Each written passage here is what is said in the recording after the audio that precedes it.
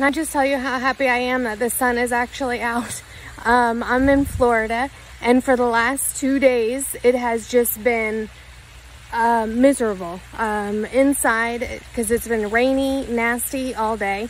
Um, so anyhow, I'm able to take my baby Murphy for a walk. Say hi, Murph. Hi, That's my baby. And um, I'm going to show you the actual new hands-free leash and how awesome it is. And um, so let me go ahead and show you all the different features on it. Let me switch my camera around. Okay, so I switched the camera around so you could actually see and we can just talk about the actual features of the leash itself. Now this is the hands-free leash. Um, as you can see, I bought uh, the blue color. It does come in a variety of colors. You have your choice. Um, what I love about it is the dual handles.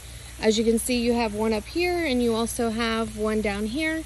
I really think that that is going to be awesome for me because I don't know about you, but my dog, he might be a small little thing.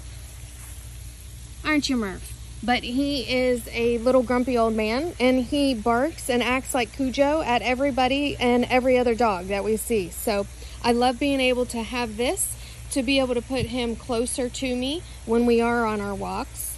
Um, one of the other great features is this actual pack. It allows you to, you can have your poop bags and then it has a little um, hole on the side that you can put the poop bags through. Um, it's a big enough to hold your phone. I have my pepper spray so when we go on longer walks. Um, you also can hold treats in there. So if you're doing any type of training, this would be a great leash because you have real control over them. Um, so again, dual handle, hands-free. Um, this is definitely a great buy, 10 out of 10. Um, I'm to go ahead and link the link it below.